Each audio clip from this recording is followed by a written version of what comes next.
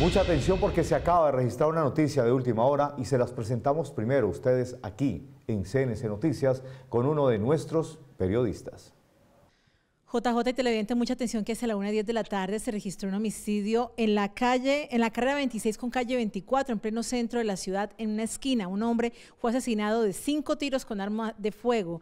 Al parecer se llama Luis López, según las primeras informaciones que han entregado las autoridades. Ocurre justamente a esta hora cuando se realiza un consejo de seguridad presidido por la gobernadora del Valle, Dilian Francisca Toro, para analizar precisamente los últimos hechos violentos que se han registrado en el corazón del Valle del Cauca. Asimismo, se han el tema de la inseguridad, la que puede estar eh, presente también en la vida de los precandidatos a las alcaldías, consejos y a la gobernación del Valle del Cauca. Estaremos ampliando esta información en nuestra emisión de las 8 de la noche en CNC Noticias. Continúen ustedes con más información.